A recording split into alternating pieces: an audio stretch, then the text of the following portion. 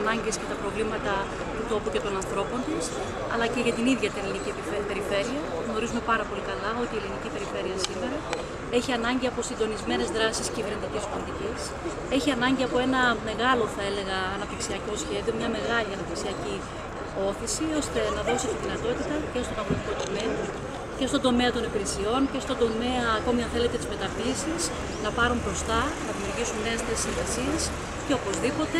να δημιουργήσουν πρόσθετο εισόδημα για τους ανθρώπους της υπαίθρου.